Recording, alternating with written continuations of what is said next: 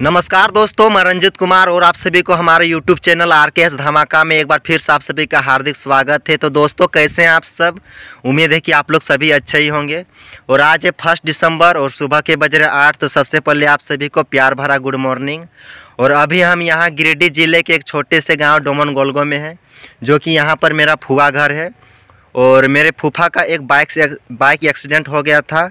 जिससे काफ़ी गहरी चोट आई थी तो उन्हीं को देखने के लिए आए हुए थे यहाँ पे। और पीछे देख सकते हैं, मेरे भैया मनोज भी साथ में है। आज हम लोग यहाँ से जाने वाले हैं सोना पहाड़ी। नाम तो सुने ही होंगे, जो कि यहाँ से लगभग 10 किलोमीटर की डिस्टेंस है, जो कि आज का हमारा ये ब्लॉग वीडियो स्पेशल सोना पहाड़ी को लेकर है। तो वीडियो पे बने रहिएगा और साथ ही हमारे इस चैनल पर नए होंगे तो हमारे इस चैनल को सब्सक्राइब कर देना और साथ ही बेल आइकन को भी दबा देना ताकि हमारी वीडियो का नोटिफिकेशन आप तक पहुँच जाए। तो चलिए देर न करते हुए सीधे यहाँ से निकलते हैं सोना पहाड़ी की ओर। तो वीडियो पे से बने रहिएगा। आज का वीडियो काफ़ी मज़ेदार और इंटरेस्टिंग होने वाली है।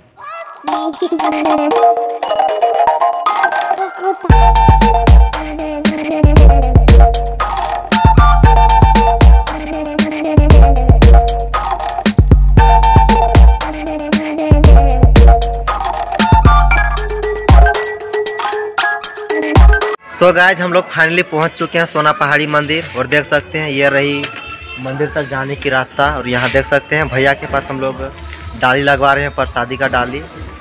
और अगर आप लोग कभी भी यहाँ पर आते हैं तो देख सकते हैं भैया का यहीं पे दुकान है तो आप लोग यहाँ पर ज़रूर से प्रसादी ले ले लीजिएगा, जो कि उचित मूल्य पर आपको मिल जाएगी।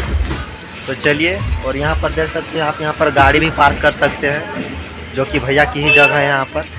तो चलिए हम लोग सीधे यहाँ पर मंदिर की ओर बढ़ते हैं। तो वीडियो पे से कंटिन्यू बने रहिए। आगे जाके आपको दिखाएँगे वहाँ का नज़ारा, किस प्रकार का वहाँ सीन है तो वीडियो पे ऐसे ही बने रहिए। सो गाय जब चलिए सीधे सीढ़ियों की ओर चढ़ते हुए ऊपर की ओर जाते हैं।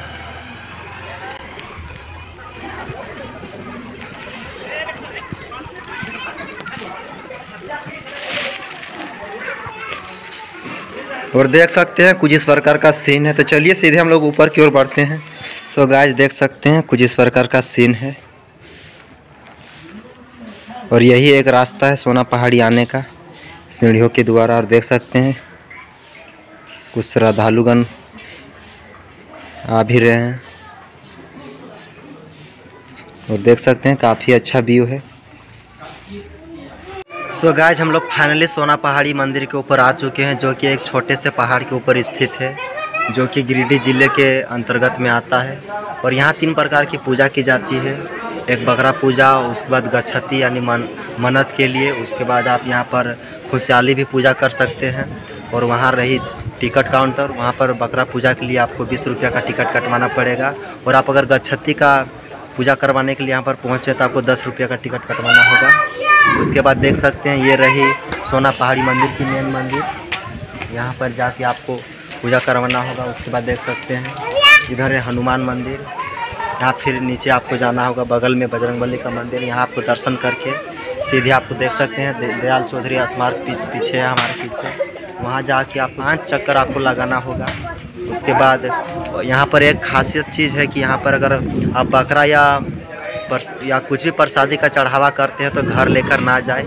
यानी गाँव वालों के मुताबिक कहा जाता है कि एक हफ़्ता के अंदर ही घर में कोई घटना घट जाती है। इसलिए आप अगर यहाँ पर कभी भी पहुँचे तो यहाँ का प्रसादी यहीं पर खा के जाए, घर लेकर ना जाए, लोगों का कहना है। तो चलिए, आपको और कुछ नज़ारे दिखाते हैं तो वीडियो पे से कंटिन्यू बने रहिए।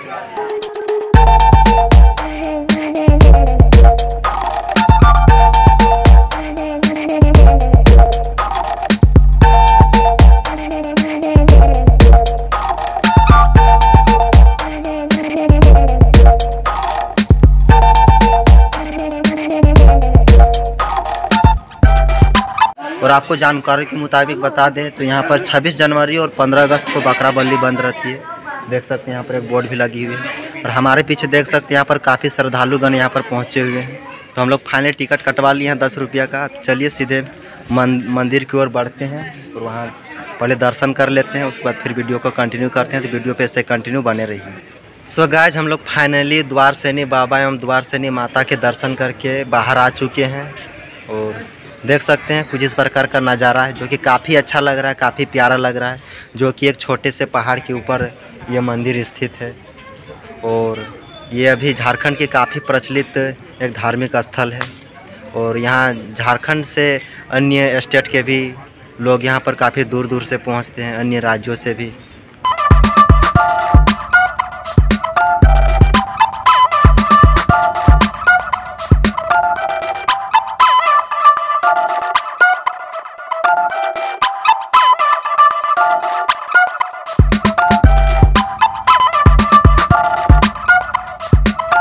और देख सकते हैं सोना पहाड़ी के ऊपर से देख सकते हैं आसपास के गाँवों का नज़ारा कुछ इस प्रकार का है।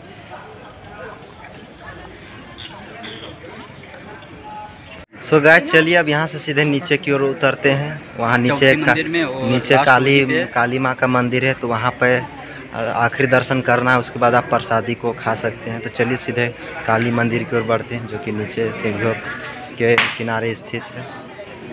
नीचे रही, काली माता की मंदिर तो चलिए यहाँ पे दर्शन कर लेते हैं, उसके बाद प्रसाद को ग्रहण करते हैं। और एक चीज़ यहाँ आने के बाद पता चला कि यहाँ जो आप प्रसादी का चढ़ावा करेंगे, वो बेको एक बेको यहाँ पे गाँव है तो इसी सीमा के अंदर ही उस प्रसादी को खा के ख़त्म करना है, इस इस सीमा के बाहर नहीं ले जाना है। सो गाइज़ फाइनली हमने काली माता का दर्शन कर लिया है, और देख सकते हैं, ये रही गेट के बाहर, अभी हम लोग यहाँ पर खड़े हैं। और मंदिर के अंदर कैमरा करना अलाउ नहीं है तो बाहर से ही दिखाने का कोशिश कर रहे हैं आपको। तो चलिए, अब यहाँ से सीधे नीचे की ओर जाते हैं, और नीचे देख सकते हैं। कुछ इस प्रकार का सीन है। तो जितने भी प्रसाद है, इसको बांट लेते हैं। नीचे बैठे हुए हैं। सभी को दान दक्षिणा करना होगा।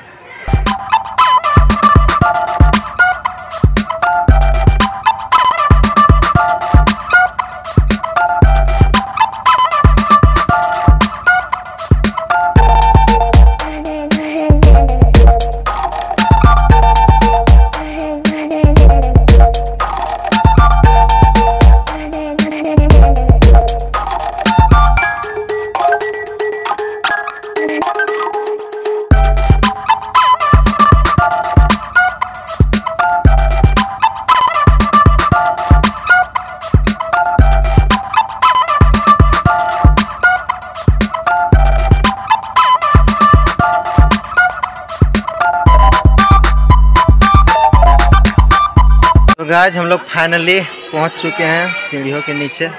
तो चलिए अब जहाँ पर अपने बाइक को पार्क किए हैं पहुँचते हैं। उसके बाद फिर अपने प्रसादी को ग्रहण करते हैं। तो आज का हमारा ये ब्लॉग वीडियो आपको कैसा लगा कमेंट करके ज़रूर बताना। बताइएगा। और अगर आप लोग यहाँ सोना पहाड़ी मंदिर नहीं पहुँचे तो एक बार ज़रूर पहुँचना। काफ़ी अच्छा प्लेस है यहाँ पे। और गाँव वालों का कहना है कि जो भी यहाँ पर मन्नतें अपनी इच्छाएँ लेकर पहुँचते हैं। सबकी मनोकामनाएँ पूर्ण होती है। सो so गाय चलिए वीडियो को यहीं पे एंड करते हैं। तो आज का हमारा ये ब्लॉग वीडियो आपको कैसा लगा कमेंट करके ज़रूर बताना। और हो सके तो इस वीडियो को ज़्यादा से ज़्यादा शेयर करना। तो चलिए मिलते हैं अगले वीडियो पे। तब तक के लिए धन्यवाद।